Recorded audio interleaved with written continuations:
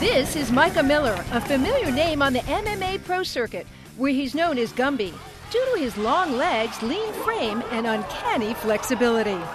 Miller, a member of the prestigious American top team, stands six feet tall, but competes at a mere 145 pounds. Being tall and explosive and flexible as well, with good power, yeah, you, you, you don't want to take anyone lightly like that. No. Micah's style is a penetrating combination of Thai boxing, jiu jitsu, and Greco Roman wrestling. But it's his hard work and quiet determination that makes him dangerous. Mike really does have the passion. He does have the, the ambition. He does have the desire. And that desire begins with a punishing seven day a week training schedule. Mike often trains with his older brother Cole, a fellow American top team member and UFC fighter. Mike is probably one of the most determined people I know. I mean, the guy trains two to three times a day, every day. Just uh, eats, sleeps, and breathes fighting. That's about it. In addition, Micah puts himself through what some might describe as a superhuman strength and conditioning workout. Finish it, finish it. Some of the drills he does during this back-breaking time circuit include power curls, grip dominators, When the head gets pulled down, this grip has to be very strong.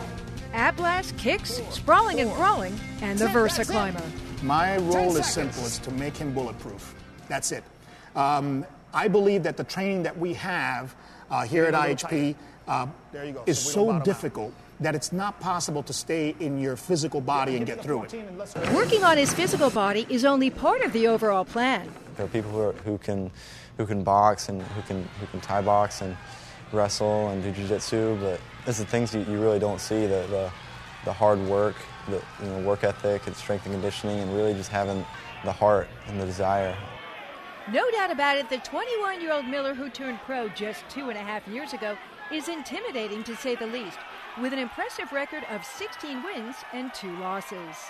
In the two and a half years since you turned pro, what has been your hardest fight and why? My Cub Swanson fight.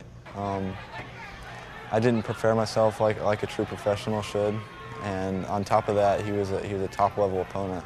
I really just felt I was outgunned. He just kind of always was a step ahead of me. That fight was real heartbreaking, especially my first loss. You know, you learn from it and move on. Last August, Miller was knocked down in the first 50 seconds of a much anticipated fight. The loss was a big disappointment for Miller, but it provided him an opportunity to refocus. I was trying to get up and, and keep fighting, and uh, you know, I, I only got hit about hit two times, and um, you know, her, her being stopped it. He's, he's a good referee, and I respect him. Would you like to fight Grispi again? I'd love to fight Josh Grispi again. You know, no, no disrespect to him. You know, he, he did his job in the first fight, but the, the, the way the fight panned out, you know, it just is it, it wasn't what I was capable of. What he was capable of is to come back with a resounding win over Jason Palacios in his CQC fight last December.